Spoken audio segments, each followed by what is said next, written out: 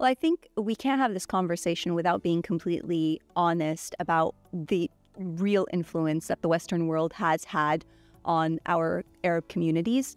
Um, they are the ones that have paved the way, um, especially in the 20th century, when it comes to um, when it comes to media, when it comes to content, the films that we watch, the TV shows that we watch. So obviously, there's a huge influence on our children, our culture. And I think the question that we're asking ourselves today is how fair has the representation of our own Arab communities been through those lenses?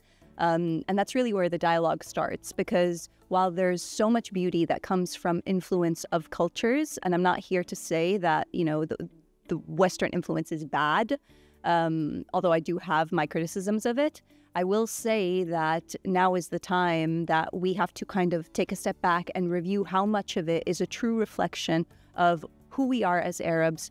Is it something that is representative of our reality today?